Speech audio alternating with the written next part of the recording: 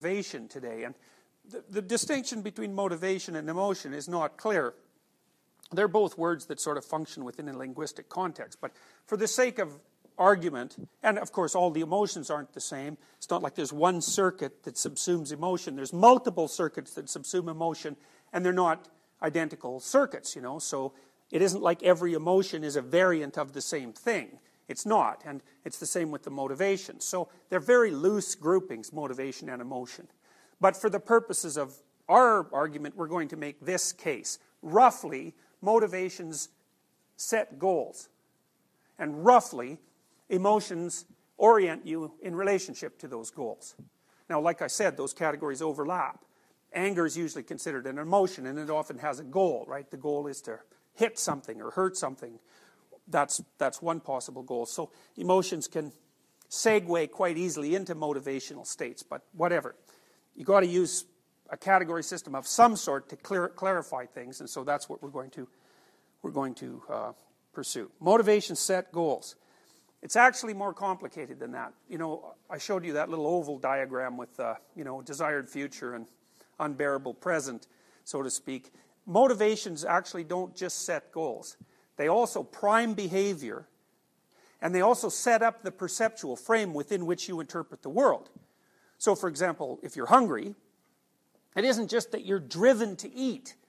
First of all, eating is a very complex behavior, especially if it's associated with food preparation, say the, the systems that you've used in the past to procure food and then to ingest it are sort of disinhibited by the motivational state. So they're at the ready. And then your sensory system is tuned so that it's going to focus on those things that are relevant to eating and tune out everything else. So the motivational state also does perceptual tuning. And then there's a felt component of it as well. So it's not it's, it's not reasonable to only say that motivation sets goals or that it drives behavior. It, it does three things goal setting, behavioral driving, plus it provides a perceptual schema within which those other two things make sense. And so a motivated state, in some sense, is like a little micro personality. It's, it's only got one aim, it's, it's sort of a one eyed micro personality, you know, so it's only aiming at one thing, but it still has all the other aspects of personality. So sort of, you know, for me, that, that aligns nicely with the psychoanalytic idea that, you know, you're, you're, you're, a, you're a loose aggregation of multiple fragmented personalities. You know, they're sort of coherently tied together at the highest level of analysis, but they can go off and do their own thing. You see that in situations, for example, like eating disorders, where the hunger system itself starts to become almost a spun off part of the personality, and the rest of the personality then wars with that. And that's sort of in some sense, that's like cortex versus hypothalamus, and you never win. Cortex does not win over hypothalamus. The hypothalamus is what keeps you alive. So, it's one of the things that keeps you alive. You could do without your cortex, but you cannot do without your hypothalamus. And the connections stretching upwards from the hypothalamus, which is a very old brain area, are much more powerful than the connections coming down from the cortex to modulate the hypothalamus. And that's another indication of just exactly who's in charge when the chips are down.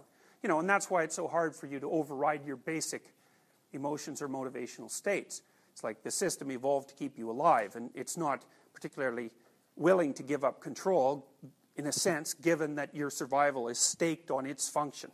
So it's useful to know that because you know if you if you if you if you pursue psychology and you stay within the human side of psychology, say, instead of wandering off into the animal behavioral research, you'll see that most human psychologists and neuropsychologists are very corticocentric.